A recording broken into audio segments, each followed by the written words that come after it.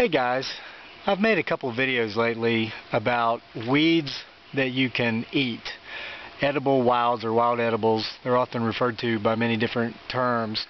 I've done one on purple dead nettle, one on plantain, and I'm getting ready to do one on uh, dandelion leaves. But there's one uh, edible wild or weed that you can eat that I want to talk to you about today that I want to caution you about tremendously, okay? Now the information in this video uh, you need to pay attention to, okay?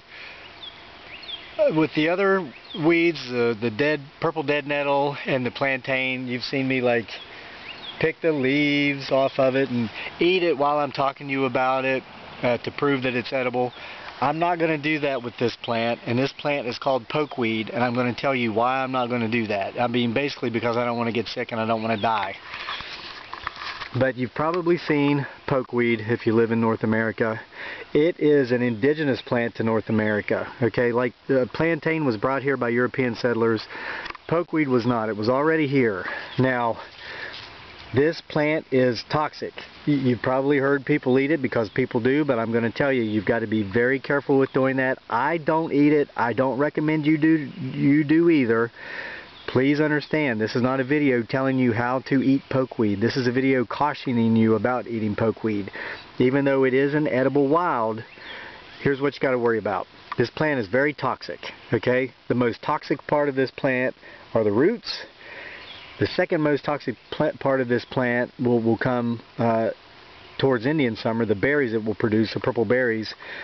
Okay, then you've got the stems and the leaves. Now, it's recommended for people who do eat it and again I don't eat it and I don't recommend you do either but you, you, they say make sure the leaves are less than 12 inches tall all these things and you've got to be very careful when you see the color red this is still a relatively young plant because um, it's still just the middle of May but as we get down here to the shoots where they come up out of the ground look at that all that red that is toxicity it's poison okay um, Here's a couple misunderstandings about this plant.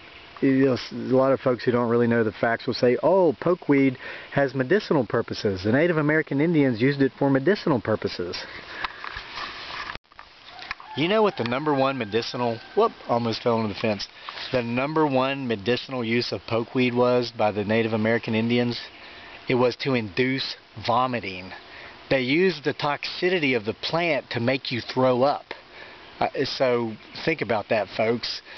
Uh, I mean, some uh, like the the plantain and the purple dead nettle, it uh, helps reduce swelling and it lowers blood pressure. Those are good medicinal uses. Now, if you're talking about using a plant to make you throw up because you have food poisoning, probably from some other plant you ate, I mean, remember that documentary Into the Wild, the movie made on that guy's book? He didn't know what he was eating and he ended up dying, a very painful, painfully slow death.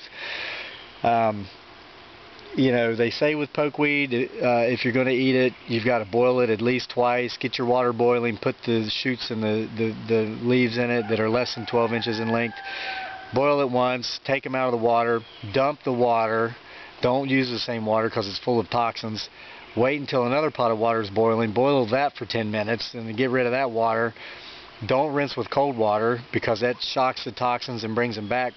Folks, to me, it's just not worth it. And I know a lot of you homesteaders are probably laughing, calling me a wimp, but I mean, you know, our garden needs weeded, but but we've got vegetables growing in our garden that we know we can eat. We have, no, these are a little bit big. These are dandelion greens. These would be kind of tough and bitter. I needed to get these when they were younger that I know we can eat. And we just, you know, and we got a house full of food. I'm not going to risk it, especially just to make a video saying, oh, look at me eating the weeds.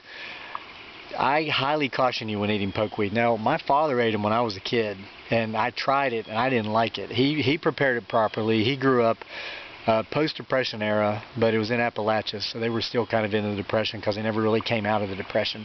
And I don't mean that to sound disrespectful to anybody who's in Appalachia. Actually, the people in Appalachia won't feel disrespected by that comment because they'll they'll know it's it's true.